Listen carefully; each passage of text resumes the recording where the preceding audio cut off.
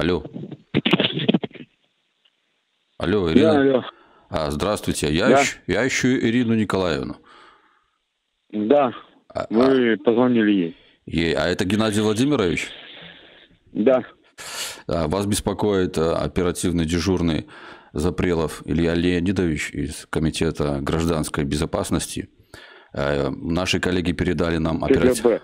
Да, наши коллеги передали оперативную информацию о том, что вы звонили с сообщением о том, что хотите убить Тихановскую и уточняли, какую ответственность будете нести за это. Я не хочу никого убивать, вы что? Ну вот было такое Да. сообщение в милицию. Да нет, Не было такого с этого номера. нет, нет, нет. С этого номера точно не было этого сообщения. С номера ходов... Не, а, вот, бля, ходов- я ее Так. ненавижу, это конечно, да. Но я такое не говорю. Я никого убивать не собираюсь.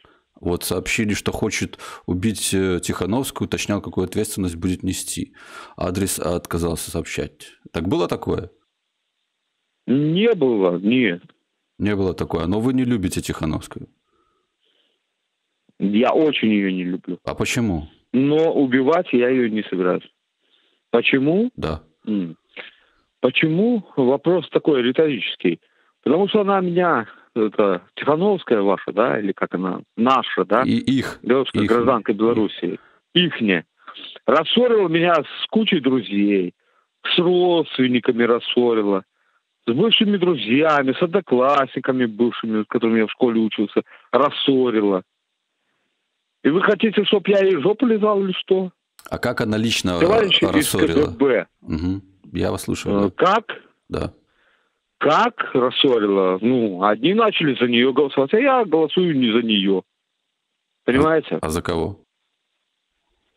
А это уже, наверное, наверное, тайна. Правильно? Нет, но это я за Лукашенко голосую. отлично. Все Не правильно. отлично. Я делаю это лично и безгранично. Это мой выбор, это мой президент. И вы, вы кто вы? Вы- представились мне? Да-да, Илья Леонидович Запрелов. Знаете что, уважаемый? Да. Если вы мне звоните меня споймать, так если вы хотите, я ее забью, нахуй. Потому что, блядь, вот эта вот скотина, нахуй. Нет, я убивать, я телесные никакие повреждения не собираюсь наносить этой Розанке Тихановской. Но у меня разругалась полсемьи, блядь, с помощью ее. Спасибо ей. Алло. Геннадий Владимирович прервалось. Здравствуйте. Здравствуйте. Илья Леонидович. Против Мгм, Да, я против Тихановской ничего лично не имею. мгм. Я не хочу, чтобы нас рассаривали, рассоривали, наши семьи разбиваются, понимаете? Скажите, пожалуйста, а Ирина Николаевна ваша супруга? Да, А что с ней? Где она? все хорошо, в Минске работает, на работе. А почему ее телефон у вас? Нет, не телефону ее у меня, а на нее... А, То есть сим-карта ее оформлена, просто мой телефон, а на нее сим-карту мы тогда купили. А вы, а бы, в чем проблема? а вы бы могли к нам прийти дать показания, пожалуйста, которые вот э, имеете на Тихановскую? Какие показания? Что я просто Ну, то, что имею? вы ее не любите, то, что Тихановская ссорит э, вас, ваших родственников с вами, и это ляжет, э, эти материалы лягут в новое уголовное дело против нее. Нет. Зачем? Ну, знаете, а- Она же имеет право, собственно, быть избранным президентом, да? А с чего вы Ну, За взяли? нее же не проголосовал никто, да? Ну, или там 8%. Э, какая- На самом деле. А Геннадий. Владимирович, к сожалению, Да, это я. э, да, к сожалению, за нее проголосовало большинство, но мы должны это тщательно скрывать.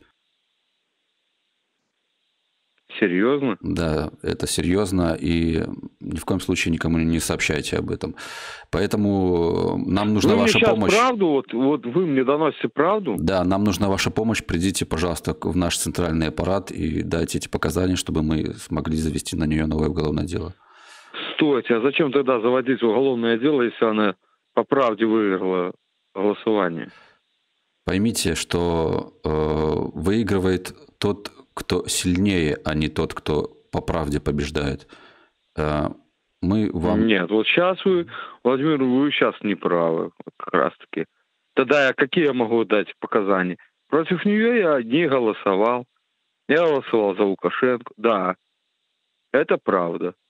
Дело в том, что меня, наверное, наебали в очередной раз, как у нас умеют. В каком смысле? Правильно? В каком смысле?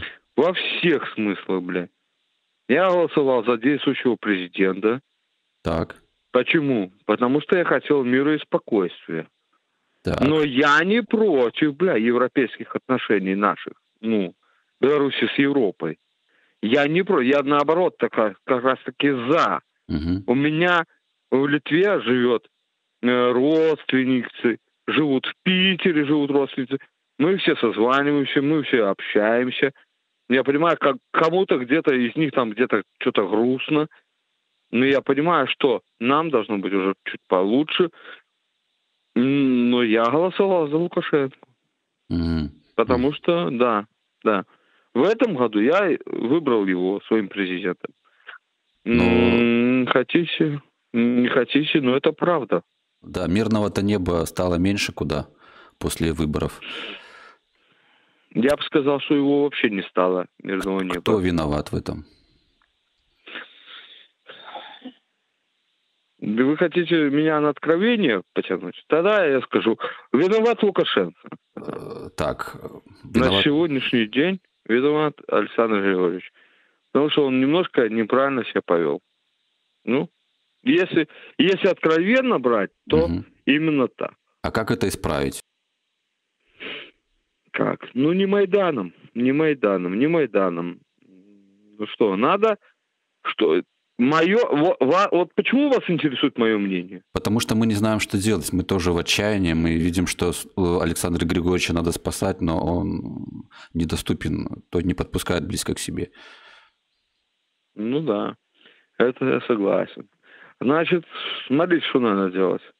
Надо, чтобы он самолично самоустранился, так, но сделав как в России сделал когда-то Ельцин. Угу.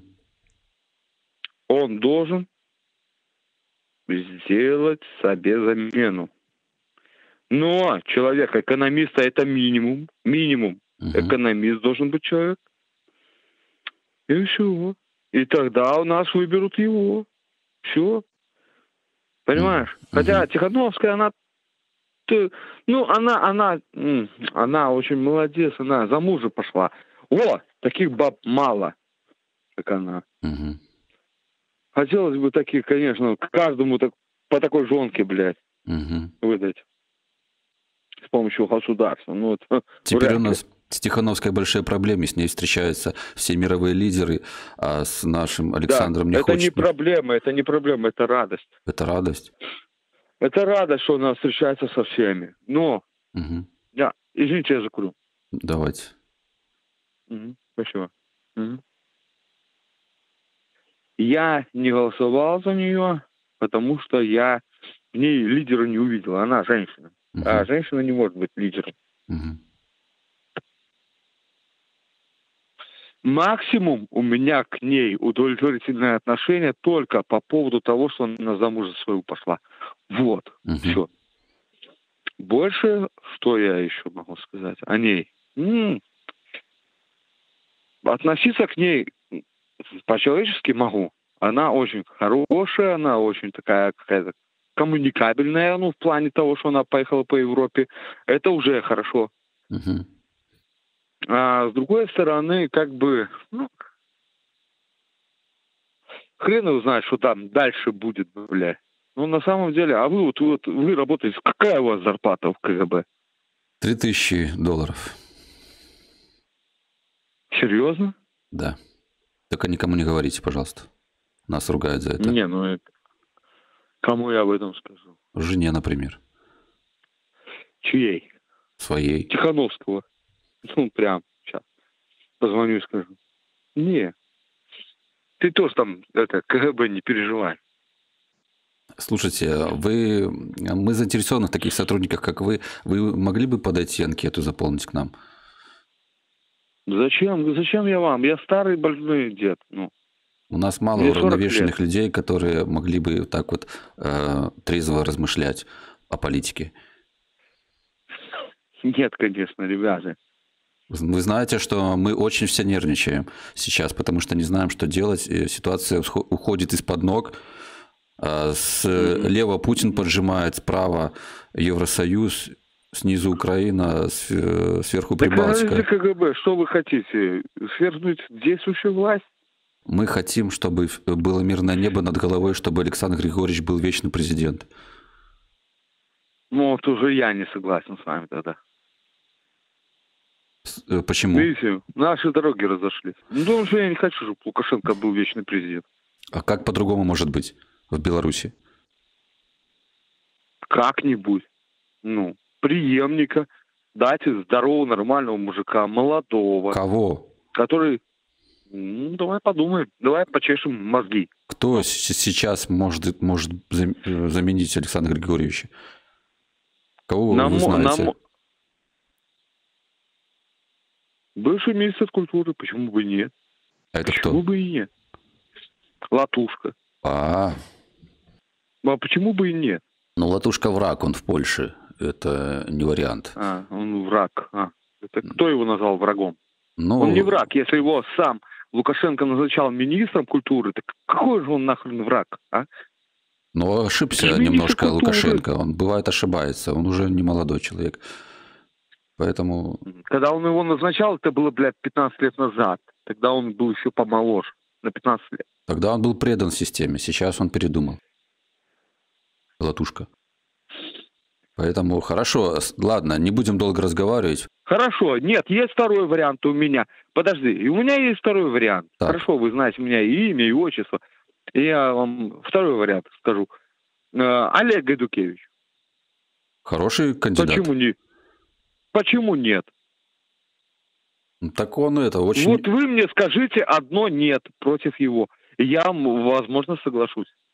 Он врет часто, врет. Врет, и у него плохая репутация у нас в органах. Но как раз таки он бывший сотрудник наш. Вот-вот. Ваш. Да, да, мы про него все знаем. Он нам не подходит. Как президент, это точно. Хорошо, куда я должен подъехать? Когда? Да, то есть это будет не сегодня, это будет завтра. Давайте лучше так. Вы сидите дома, мы сами приедем, никуда не нужно идти. Заполните анкету, и... а далее уже сообщим, где и когда будем встречаться. Спасибо вам большое за вашу гражданскую позицию. А ваша какая позиция? Вот мне интересно. Наша, э, наша позиция, чтобы Лукашенко был бессмертен. Знаете, я сейчас позвоню.